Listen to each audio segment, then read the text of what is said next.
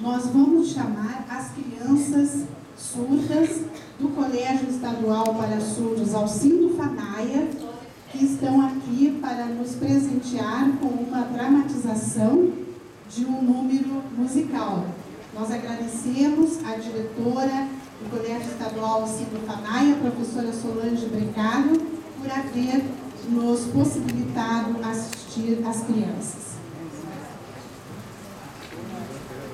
Enquanto as crianças se organizam para a apresentação, eu quero dar um aviso a respeito da empregabilidade no grupo educacional Uninter. Eu aviso as pessoas que desejam se cadastrar para empregos na nossa área de talentos humanos, acesse no site www.grupouninter.com.br. Lá você encontrará o espaço de talentos humanos para se cadastrar para o preenchimento de vagas para o cumprimento da lei de cotas.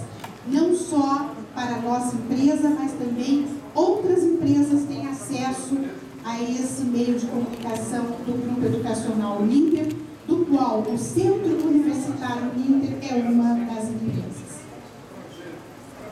Vamos então assistir as crianças do Colégio Estadual Alcindo Fanar.